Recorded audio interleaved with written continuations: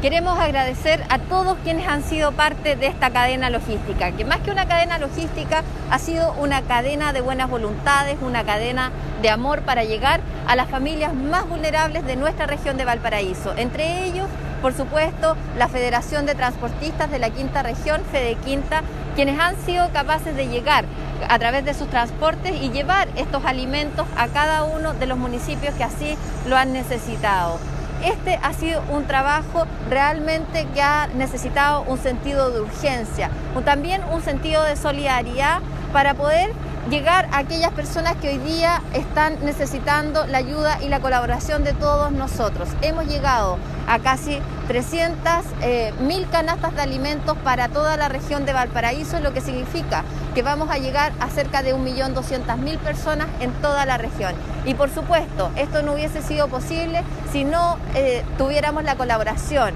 y el apoyo de cada una de aquellas personas que quisieron ser parte de esta cadena logística, de esta cadena de amor.